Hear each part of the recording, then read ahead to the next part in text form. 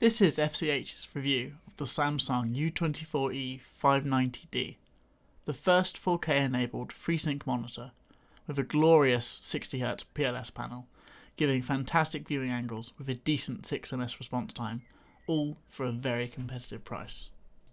The monitor looks modern and stunning, especially at this price point.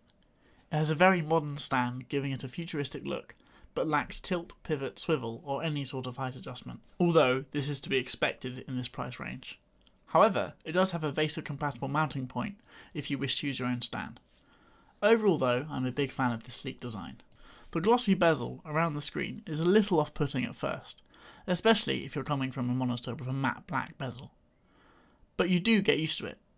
If you game in complete darkness like I do, then this won't be an issue. However, if you think this monitor is perfect except for the glossy bezel, you could always mod it. The panel itself is beautiful, especially with 4K video. The only issue is finding it. Though, in time there will be more content as Netflix 4K is to be released soon, and most popular YouTubers are progressing there. 4K gaming is a wonderful experience once you've played 4K at a decent frame rate, with FreeSync of course. Anything less feels archaic. The first game I started up was Shadow of Mordor. You would think the jump from this from uh, 1440p wouldn't be too noticeable, but it is. The other games I tested out were FIFA 15 and GTA 5. Regarding the FreeSync variable refresh range, there is no official value that I could find. I even called Samsung and several suppliers such as Scan UK and Overclockers UK. From what I have experienced, I would estimate somewhere between 40 and 60 FPS. Personally, though, running a game at sub 40 FPS detracts from the visual quality, so I would tune, down the settings for a more reliable refresh rate within this estimated range.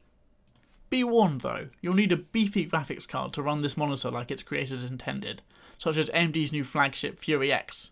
Click to subscribe if you want to see the unboxing video for that. At the back of the monitor, there is a DisplayPort 1.2, you'll be using this and only this if you want to utilise FreeSync, two HDMI ports, an audio jack, and a very small power cable in. The small power cable and brick is a very nice change to the standard inflexible kettle leads that come with the majority of other monitors. The joystick located on the back of the bottom right makes accessing the menu easy and efficient. I don't know many people that mess around with their menu settings, other than to initially calibrate things, but if you do, it's simple to do so. If I had to pick something that irritated me, it would be that the blue LED in the bottom right shines rather brightly when the monitor is turned off. This is fine for now, but I can imagine this being annoying for those who sleep near their battle stations.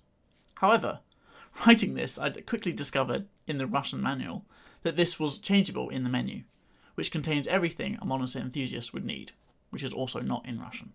In conclusion, the Samsung U24 E590D is the best gaming monitor bang for buck.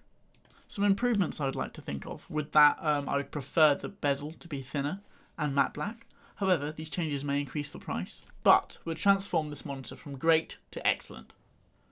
Possibly having a 144Hz panel in the future, when hardware can actually support 4K at those kind of speeds, that would just completely um, make it a, a dream monitor. Overall though, I would say that this monitor is the best gaming monitor if you're not wanting to spend a ridiculous amount, but most importantly if you have an AMD GPU. You could use an Nvidia GPU with this monitor, but I feel the FreeSync potential would be wasted, and you would be better off with a more expensive G-Sync monitor. Thanks for watching, give us a like if you found this helpful, and leave any questions in the comment section below.